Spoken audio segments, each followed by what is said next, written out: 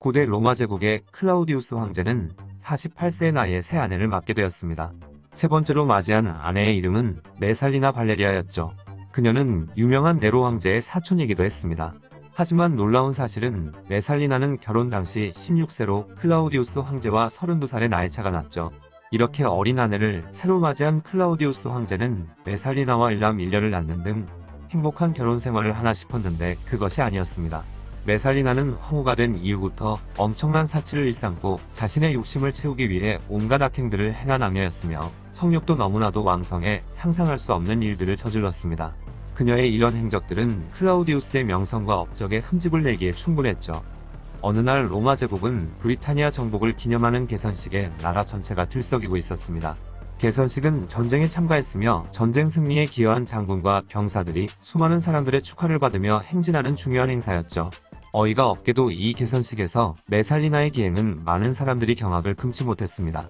브리타니아 정복에 전혀 기여도 하지 않은 황후가 스스로 개선식에 등장하여 정작 주인공인 황제, 장군, 병사들을 들러리 취급하며 자신이 주인공 마냥 행동했던 것이죠. 아무리 황제의 아내라 하더라도 전쟁에 참여도 하지 않은 여자가 개선식에 참가하는 것은 전례가 없는 일이었고 이 장면을 본 로마 백성들은 기겁해 마지 않았습니다. 메살리나의 미친 행보는 이제 시작일 뿐이었습니다. 그녀는 사치와 물력이 너무나도 강해서 한번 눈독 들인 재물은 무조건 가져야 했기 때문에 온갖 수단과 방법을 가리지 않았고 심지어 사람을 죽이면서까지 가져야 직성이 풀렸죠. 당시 아우구스투스 황제가 제정한 간통죄로 처벌이 되면 재산을 몰수당했고 반역죄를 저질러도 재산을 몰수당했는데 그녀는 자신의 물력을 채우기 위해 이 두 가지 법을 철저하게 사용했습니다. 마음에 안 들면 그냥 간통죄로 고발했고 간통죄로 고발할 수 없는 경우에는 반역죄로 고발하는 식이었죠. 한 가지 일을 소개해드리면 그녀는 로마 제국에서 황제 다음으로 높은 위치에 있던 아시아티쿠스의 정원을 마음에 들어 했습니다.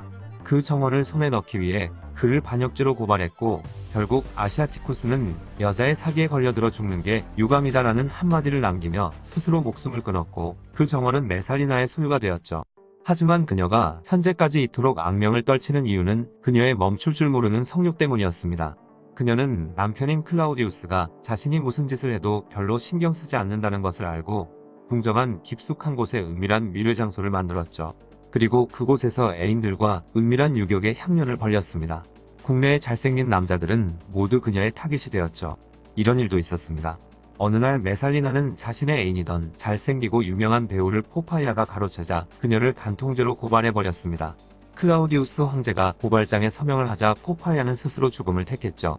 며칠 뒤 황제가 만찬회를 열었는데 포파이아의 남편인 스키피우만 만찬에 참석한 걸 보고 황제는 그에게 아내가 어디 갔냐고 묻는 말에 스키피우는 죽었습니다 라는 한마디만 했다고 합니다.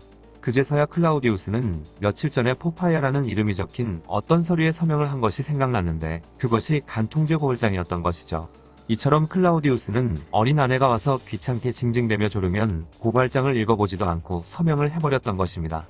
이 때문에 귀족들은 메살리나에 의해 온갖 누명이 씌워져서 죽기도 하고 풀려나기도 했기에 클라우디우스를 아내한테 휘둘리는 늙은 얼간이라며 그가 죽은 후에도 비난을 멈출 줄 몰랐다고 하죠. 그녀가 점 찍은 남자의 거절은 곧 죽음을 의미했습니다. 그녀는 마음에 드는 원로원 의원 아피우스 실라누스가 자신의 유혹을 거절하자 남편인 황제를 부추겨 죽이기도 했으며 자신과의 잠자리를 거부하는 남자들은 죽이거나 추방하는 등 성욕에 있어서도 거침이 없었죠. 메살리나의 한마디에 모든 남자가 옷을 벗으니 이 짓도 재미가 없어진 그녀는 더 큰 자극을 찾기 시작했습니다. 신하와 명문 귀족의 부인들을 서로 관계를 시키고 관계 장면을 남편이 보게 하기도 했죠. 하지만 그녀의 끝없는 성욕은 마침내 폭발하게 되었습니다. 밤이 되자 그녀는 몰래 궁 밖으로 나갔죠. 그리고 스스로 매춘부가 되어 매춘을 하기 시작했습니다. 바로 낮에는 황후로 지냈지만 밤에는 매춘부로 살아가는 이중 생활을 시작하기에 이르렀죠. 처음에는 고급 매춘부로 시작을 했는데 그것으로도 만족이 되지 않았던 메살리나는 아예 천민들이 이용하는 최하층 매운굴에까지 들어가 몸을 팔기 시작했죠. 날이 밝을 때까지 엄청나게 많은 손님을 받으며 상상할 수 없는 온갖 음란한 성행위를 했다고 합니다. 나중에는 로마 거리 한가운데에 남자의 거시기 모형이 달린 뮤카스카라는 간판을 내건 매춘구를 오픈해 더욱더 많은 손님을 받았다고 하죠. 그런 레살리나의 마지막 또한 충격 그 자체입니다. 자신의 남편인 황제 클라우디우스가 오스티아 건설을 시찰하기 위해 로마를 비운 틈에 자신과 불륜 관계이던 잘생긴 미중년의 원로원 의원 가이우스 실리우스와 많은 사람들이 지켜보는 가운데 궁전에서 결혼식을 하기까지 했습니다.